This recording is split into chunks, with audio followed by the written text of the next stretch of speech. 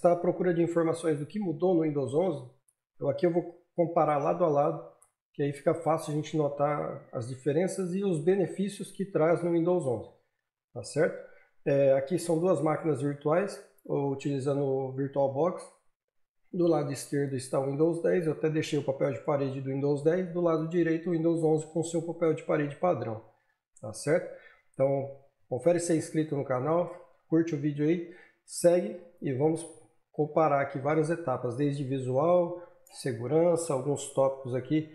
Começando pelo menu iniciar, o menu iniciar do Windows 10 aqui do lado esquerdo, o iniciar do Windows 11 no centro.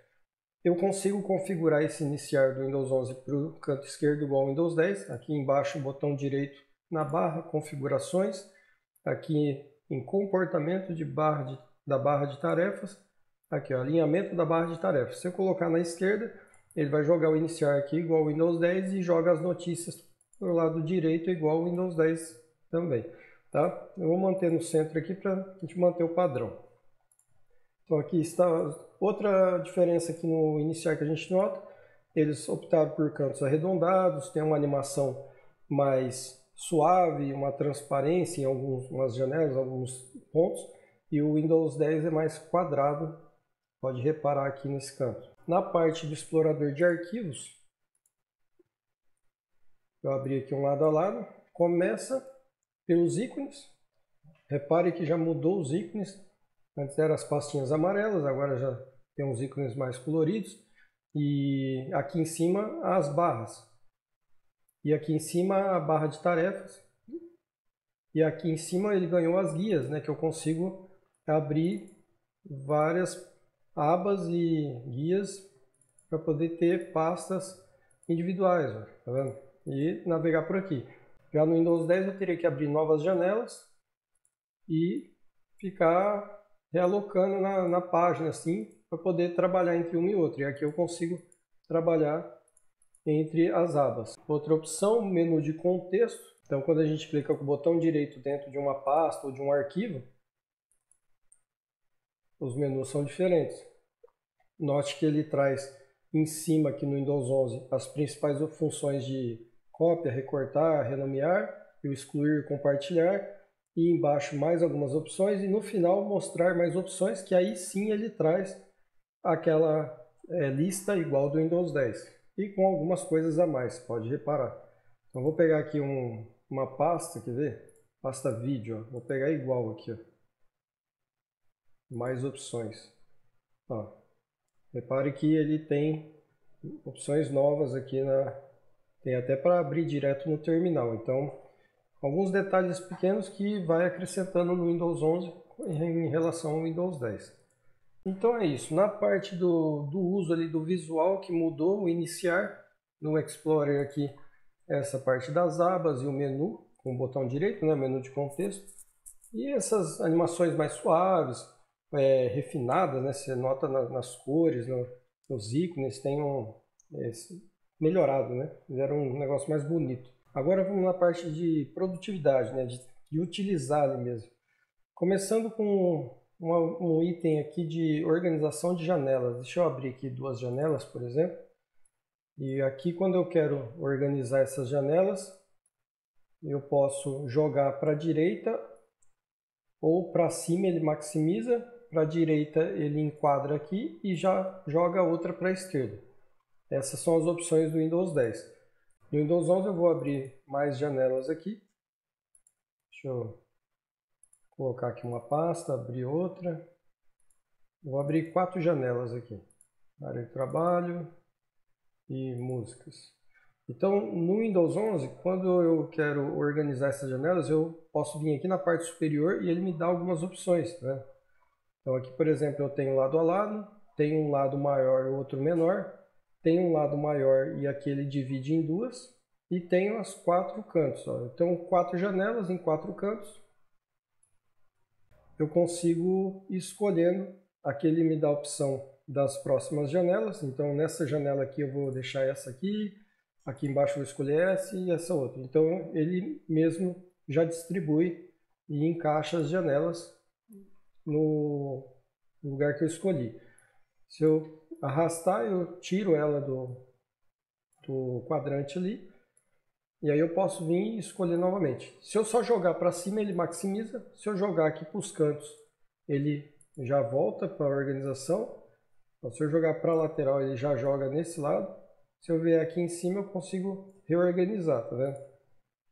Aí ele vai separando. Então ele tem esse, essa distribuição aqui que eu consigo, numa tela grande, com uma resolução alta, um monitor ultra-wide, eu consigo dividir eh, as janelas ali.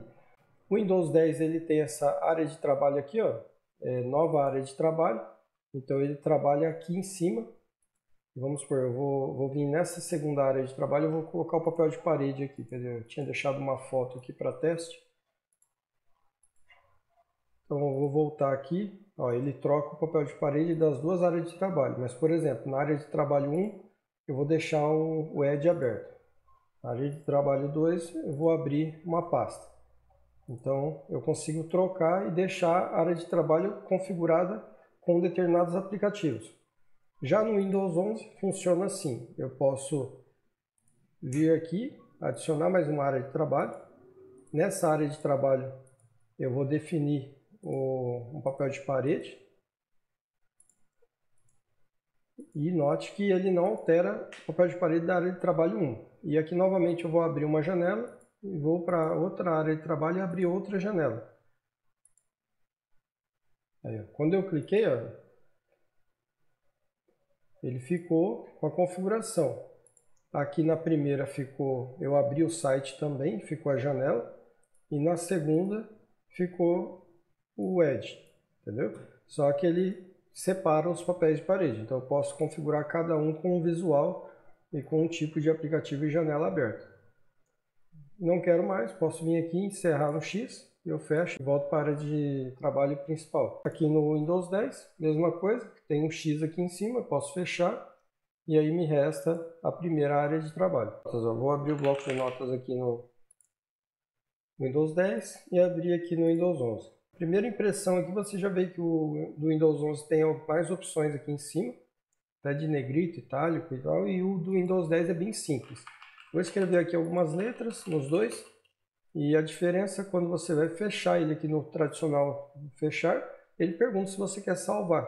E já no Windows 11, se eu fechar, ele se fecha, só que ele não perde o conteúdo. Esse conteúdo fica salvo numa área dele, é um temporário. Para você salvar esse documento, você tem que vir ou fechar por aqui nesse X da aba, ou você vem no salvar mesmo e coloca aqui, ó, tinha até feito um teste, você salva, colocar aqui teste 2. Aí aquela bolinha que estava aqui, ela some e fica só o X, sinal que ele já salvou. Agora se eu escrever mais informação aqui, ele novamente ele fica aguardando ser salvo. Se eu fechar aqui nesse X, essa segunda linha não está salva no documento. Só a primeira. Eu tenho que vir salvar para ele efetivar essa alteração. Tá certo? Então, às vezes as pessoas vão abrindo arquivos, escrevendo, vai ficando várias abas aqui, a gente fecha e vai ficando tudo salvo, sim, salvo um, de, um temporário. Não foi é, salvo o arquivo na máquina ainda. E já o Windows 10 não tem isso. Fechou, ele pergunta se você quer salvar ou não.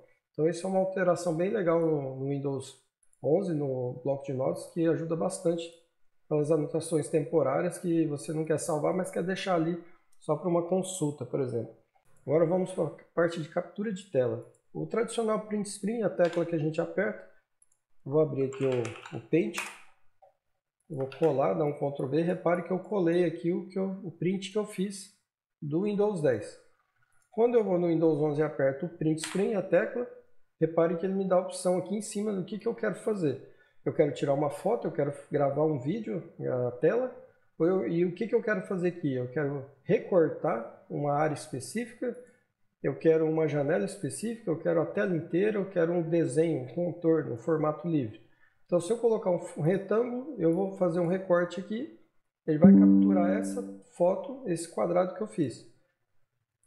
Se eu apertar o print screen, colocar aqui tela inteira, fazer a captura da tela inteira. Então, se eu entrar aqui na captura de tela, note que tem um recorte que eu fiz e tem a tela inteira que eu capturei. Eu vou até abrir aqui.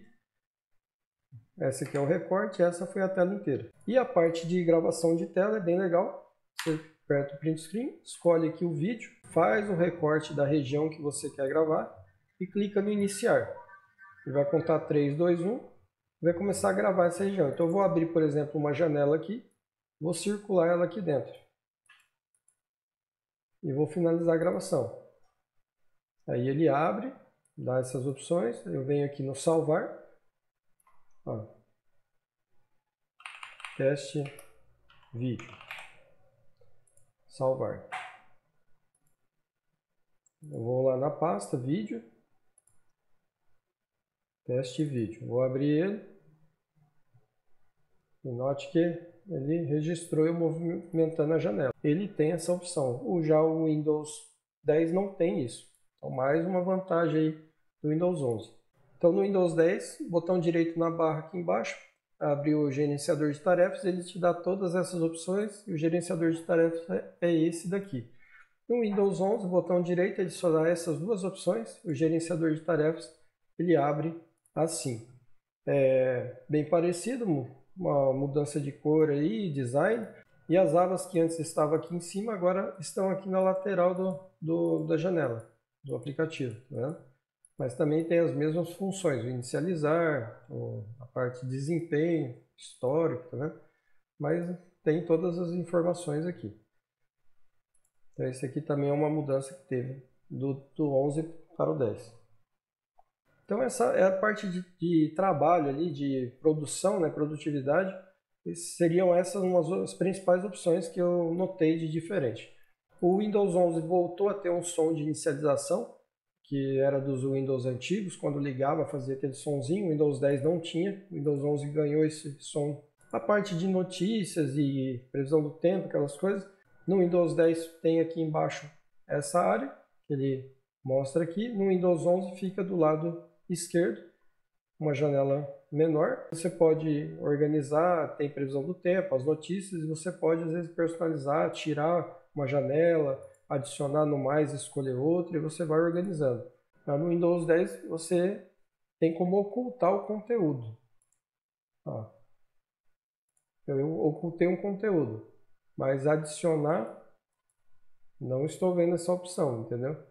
E agora no Windows 11 você consegue vir no mais e adicionar os itens que você deseja organizar aqui na sua área de notícias. Na parte de segurança, o Windows 11 exige o TPM 2.0, Secure Boot, já o Windows 10 não tem esses requisitos, então instala facilmente várias máquinas. É possível é, fazer instalação sem esses recursos, no canal eu tenho um vídeo explicando, você vai utilizar o Windows 11 sem essas proteções, mas funciona. Em um caso que a máquina não roda e você precisa utilizar, é uma alternativa.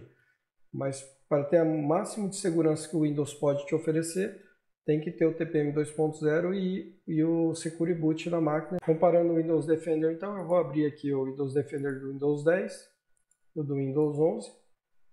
Então, note que a primeira, a segunda, a terceira ele ganhou um histórico de proteção aqui no Windows 11 e aqui na parte de segurança do dispositivo também teve alteração. Detalhes do processador de segurança, que aí é onde ele consulta o TPM, né? no caso essa máquina é uma máquina virtual, ela está sem o TPM aqui, então por isso que ele deu essa informação.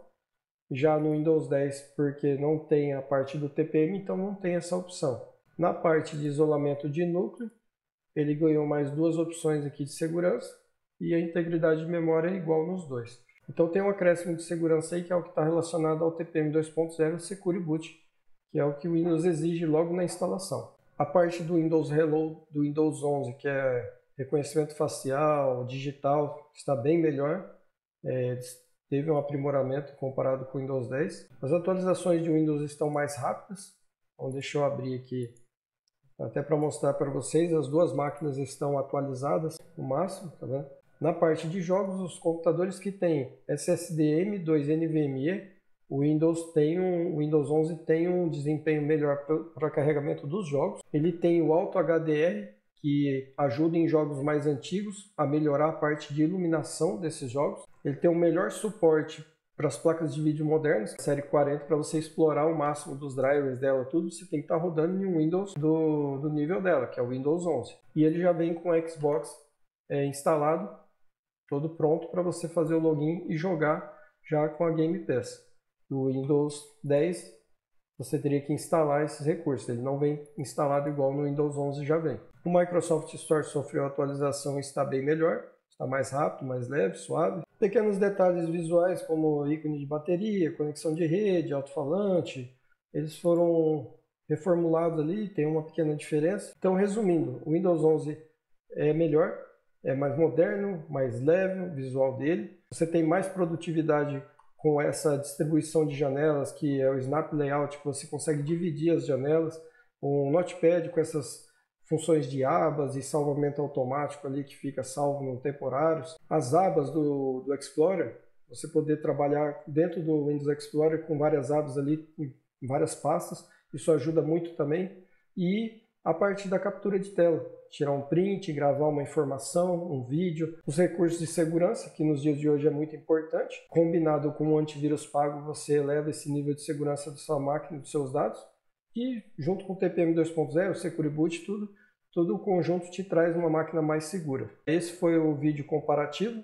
Espero que ficou claro aqui as diferenças. Eu gosto do Windows 11, uso ele nas minhas máquinas, não troco. Recomendo utilizar ele. Gostou do vídeo? Já confere aí se é inscrito.